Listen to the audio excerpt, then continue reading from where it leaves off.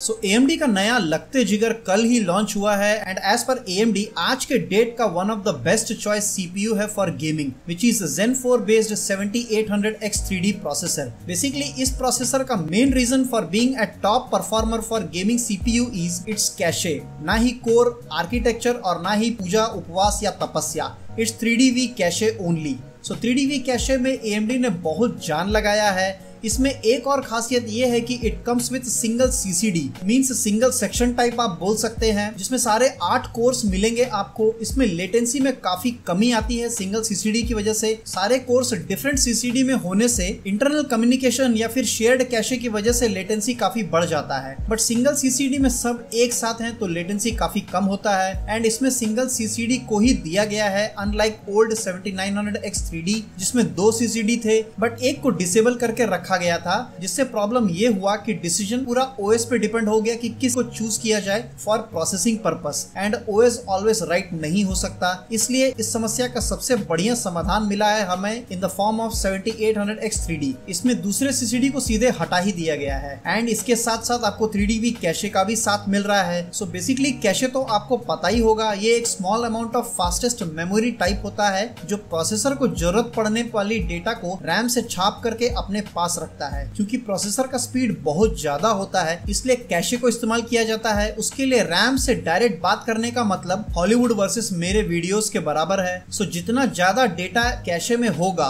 उतना अच्छा and fast processing हो सकेगा।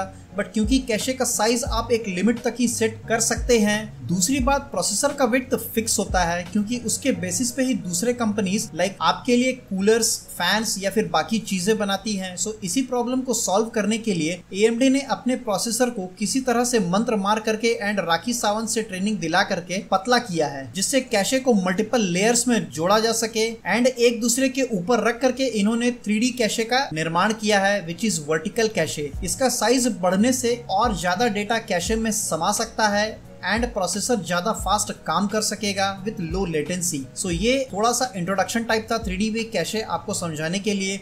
अब प्रोसेसर की बात करें सो ये आज भी 8 कोर 16 थ्रेड वाला 5 गीगाहर्ट्ज मैक्स बूस्ट क्लॉक के साथ उत्पन्न AMD के गोद में सिमटा 120 वाट TDP के साथ आने वाला प्रोसेसर है। अब चूँकि AMD का क्लेम के अनुसार ये अब तक का सबसे पावरफुल गेमिंग प्रोसेसर है, इसलिए गेमिंग बेंचमार्क की बात करनी तो बनती है। सो ये स्क्रीनशॉट हमें मिला है फ्रॉम वीडियो कार्ड्स वेबसाइट जहाँ AMD ने 21 गेम्स टेस्ट किया है फ्रॉम डिफरेंट डिफरेंट उत्पत्ति एंड उत्पादन कंपनीज़ के द्वारा।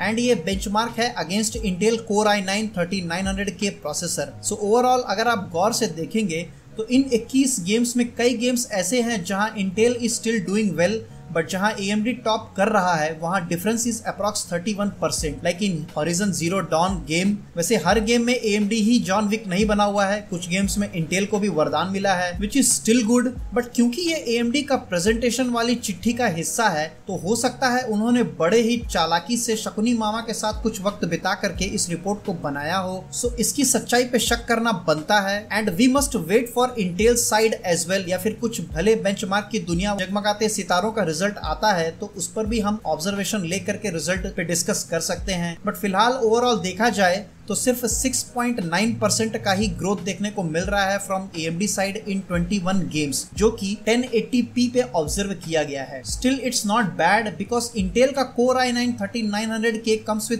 24 cores and 32 threads with max boost of up to 5.8 GHz and 36 MB of smart cache सिर्फ़ कैशे साइज़ ही AMD में 104 MB है L2 एंड L3 को मिला करके बाकी सब कम ही है इंटेल के कंपैरिजन में इसके बावजूद लीसा मैडम ने कुछ तो काली शक्तियों के साथ हाथ मिला करके ये उबलता हुआ टेक्नोलॉजी आपके घर तक पहुँचाया है। सो थैंक्स टू हर एंड गेमिंग में आपको पता ही है, कैशे का इस्तेमाल बहुत ज़्यादा होता है। इसकी वजह से परफॉर्मेंस आपको ज़्यादा अच्छा मिल सकता है। बट ये बात भी आप गौर करिएगा कि इसका असर आपको गेमिंग में ही दिखेगा। अगर आपका इस्तेमाल कुछ अलग तरह की चीज़ों पे है तो इस प्रोसेसर को चुनते समय आप थोड़ा ध्यान दीजिएगा। वैसे ये बेंचमार्क जो 21 गेम्स का आपको दिखाया गया है, वो 1080p पे ही किया गया है। एंड मुझे नहीं जो लोग इतना पैसा दे करके इतना पावरफुल सीपीयू लेंगे, वो सिर्फ़ टेन ही गेम खेलेंगे। मेरे हिसाब से वो फोर भी ट्राई कर सकते हैं। जिसका रिज़ल्ट फ़िलहाल हमें नहीं पता है। दूसरी बात power consumption for Blender test भी बहुत कम है compare to thirteen nine hundred के लाइक अप्रोक्स चार टाइम ज़्यादा पावर कंज्यूम कर रहा है थर्टीन नाइन हंड्रेड के